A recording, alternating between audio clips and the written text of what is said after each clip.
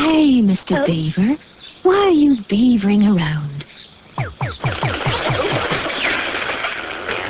Haven't you heard of Cadbury's Caramel? See, as the thick Cadbury's milk chocolate melts with that dreamy caramel, you just have to take things really easy. Looks like somebody else could do with some. Take it easy with Cadbury's.